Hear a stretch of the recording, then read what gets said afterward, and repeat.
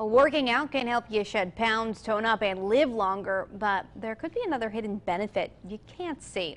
Neuroscientists at Oregon Health and Science University studied mice and found that short bursts of exercise boost the part of the brain associated with learning and memory.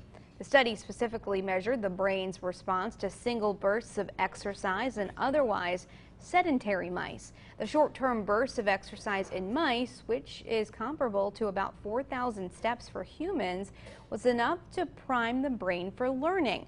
Westbrook says they're working to prove a direct link between the two. That is really interesting. Mm -hmm.